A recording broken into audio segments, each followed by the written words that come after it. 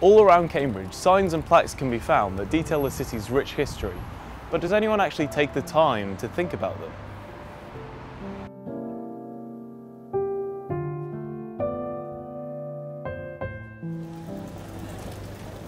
A short walk from the market is a poem called The Ode to Tobacco, written by James Stuart Calverley.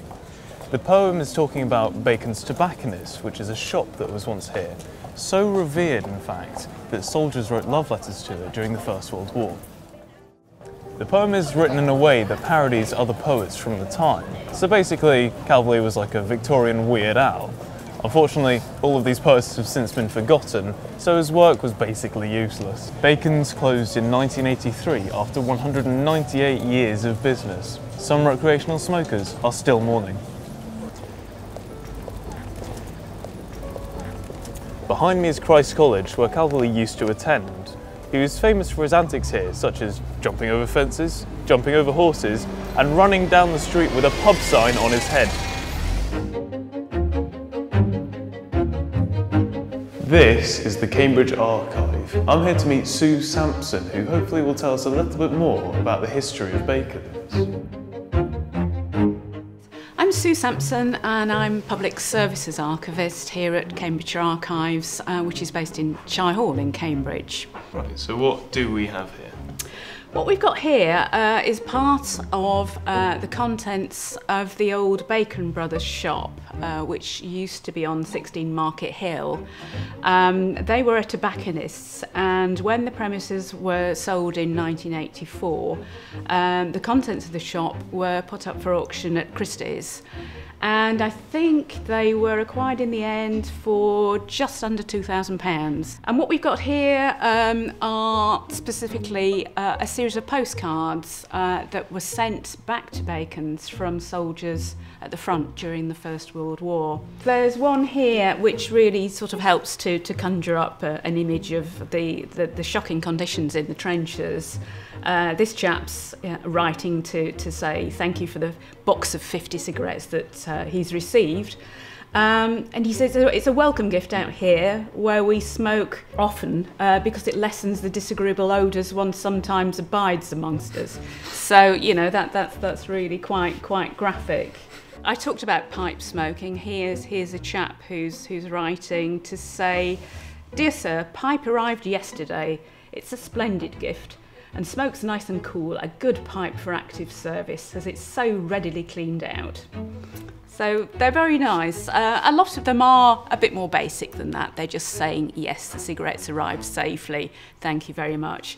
But it's the, the detail that some others go into that really helps paint a vivid picture.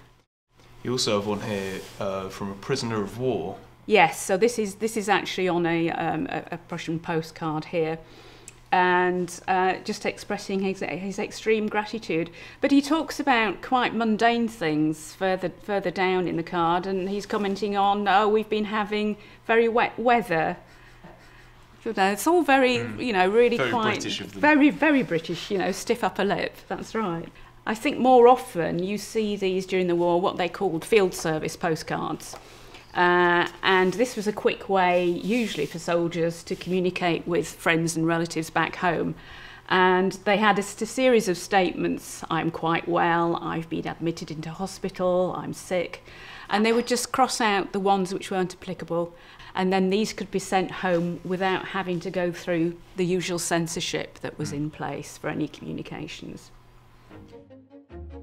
This is uh, a little more unusual. This is a, a really nicely illustrated card. I mean, these were, were, were quite commonly on sale, I believe. Illustration of a, a, a British soldier here sort of striding past the, the Union Jack and um, this chap saying uh, the cigarettes were as fresh as if they'd just been bought from your shop. So this is clearly a, a Cambridge man, and he talks about um, other Cambridge boys uh, in his section. He says you can guess how delighted they were to have some some Cambridge cigarettes. We also have another letter here that's addressed uh, to or from the YMCA.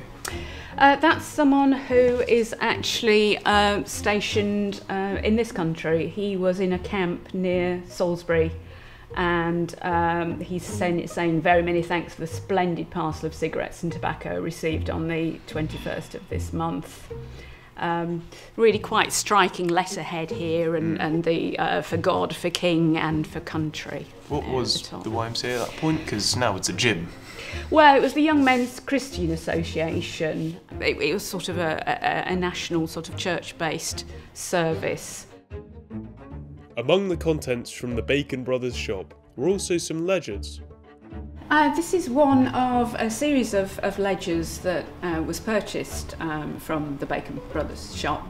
And it's opened at this page here to show one of the customers who was uh, Charles Stuart Calverley himself, who was responsible for writing the, the Ode to Tobacco. And here you can see uh, in 1852 his account for cigars uh, and tobacco. And um, apparently he was a, a very loyal and, and much valued customer. It had been a very interesting day indeed.